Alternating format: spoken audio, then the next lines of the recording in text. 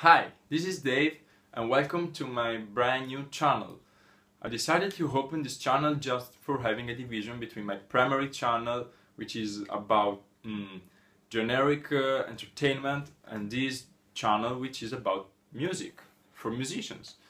So, uh, for starting the new series of video I decided to show you a very funny trick you can do with your guitar uh, and what you're going to need is just an electric guitar and an amplifier and that's all. Of course your guitar pick and your fingers.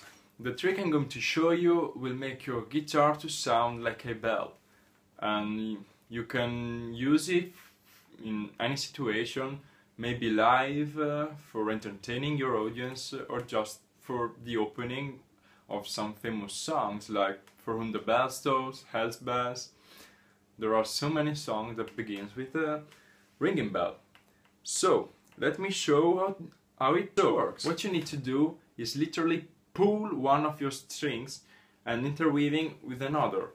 I prefer using the first uh, four string because they are more easy to bend.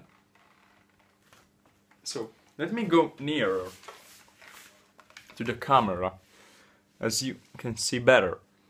You literally pull one of your string. I'm, I'm pulling the D string at the fifth fret and interweaving with the G string. Now strum the two strings. Can you hear it? It's a bell.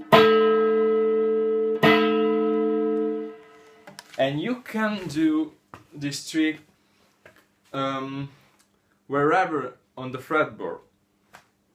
For example, using your G string, pulling your G string and interweaving with your B string.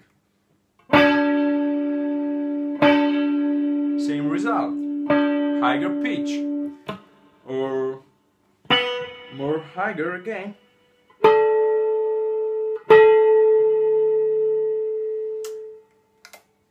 This is what you only need to do. Just pulling your string and interweaving with the other string.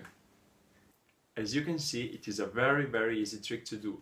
You just need a little bit of experience when pulling your string for not making it to escape from your fingers. That's all. I hope you enjoyed this video and if you did, thumbs up and share it with your friends.